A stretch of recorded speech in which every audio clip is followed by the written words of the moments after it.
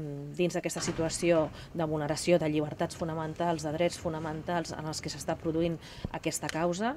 doncs la Carme sí que m'ha transmès que ella vol que es faci aquest judici quan abans millor per poder parlar per si mateixa, que s'escolti la seva veu i que es pugui parlar dels fets provats, que clarament demostren que l'acusació de sedició i de, i de rebel·lió és clarament infundada cal que comparegui el ministre Marlaska eh, i que doni explicacions de per què aquesta actuació de la Policia Nacional, que semblaria sincerament que en el context d'excepcionalitat que estem vivint a Catalunya eh, doncs, té un cert caràcter de, de provocació i evidentment no ajuda gens a reconduir la situació de l'àmbit judicial cap a, cap a l'àmbit polític i de diàleg. Per tant, no entenc aquesta actuació